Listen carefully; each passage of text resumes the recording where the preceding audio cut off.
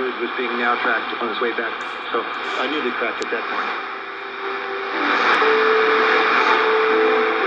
That's a round trip of almost 12,000 kilometres for nothing.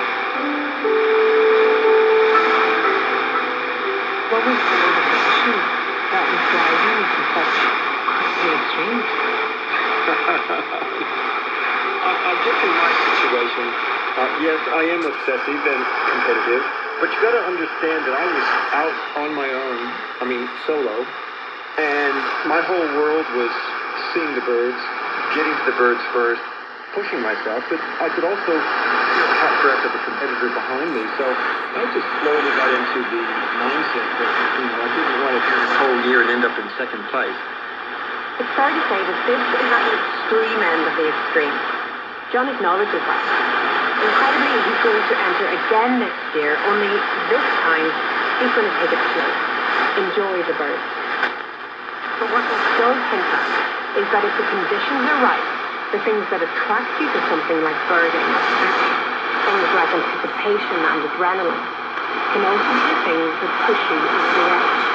We have to distinguish between people who take up an interest in birding as a recreational pleasure and people who become totally absorbed in so that it becomes really the organizing principle of their lives. That's Dr. Kelly Batubic from the University of Hawaii again.